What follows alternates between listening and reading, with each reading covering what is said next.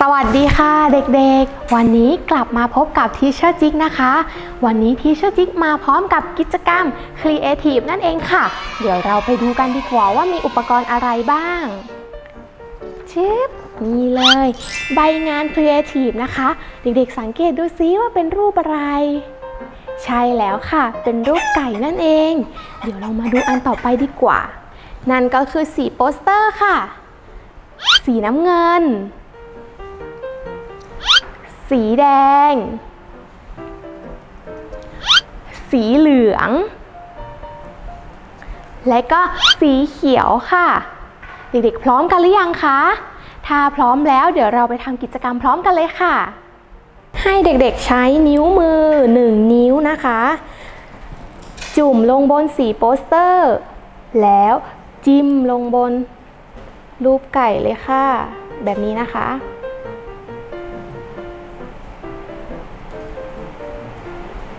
และถ้าหากว่าเราอยากเปลี่ยนสี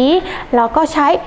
กระดาษหรือผ้าที่เด็กๆมีนะคะ เช็ดสีเดิมก่อน แล้ว จุ่มนิ้วมือลงบนสีใหม่ได้เลยค่ะ เมื่อจุ่มแล้วก็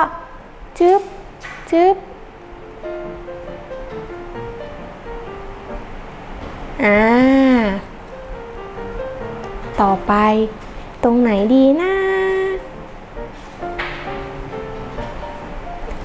ทีเชอร์ขอเปลี่ยนสีหน่อยนะคะ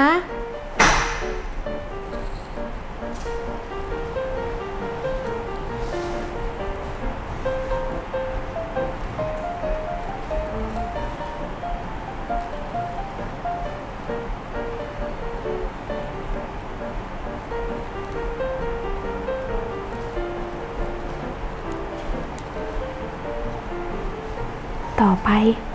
เป็นขาไก่ค่ะเด็กๆ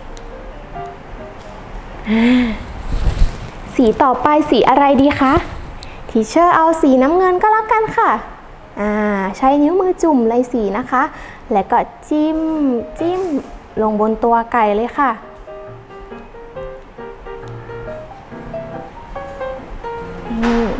จิ้มลงไปเลยแบบนี้นะคะ แล้วก็จิ้มบนหางไก่อีกนิดนึง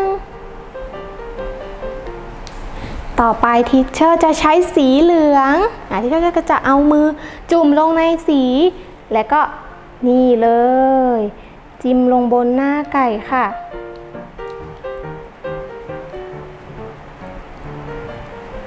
อะ เรียบร้อยแล้วค่ะปิงเป็นยังไงกันบ้างคะเด็กๆ ผลงานของ teacher จิกสวยไหมคะ แล้วผลงานของเด็กๆเป็นยังไงบ้างคะ กิจกรรม อย่าลืมถ่ายรูปภาพหรือคลิปวิดีโอส่งกลับมาให้ teacher ดูด้วยนะคะสำหรับวันนี้ teacher ลาไปก่อนนะคะ สวัสดีค่ะ